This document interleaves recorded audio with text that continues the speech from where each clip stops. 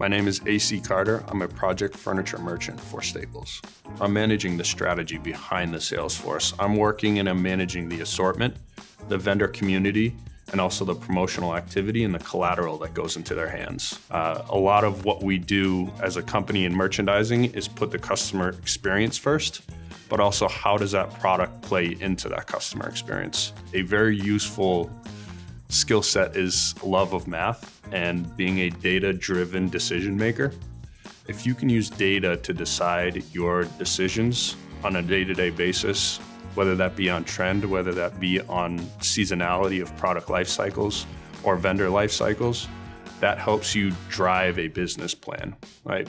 Coming to the table and defining from day one what you're setting out to accomplish using data is a powerful way to grow in this company and also a powerful way for our customers to feel that in their pockets, but also feel that in their experience with Staples.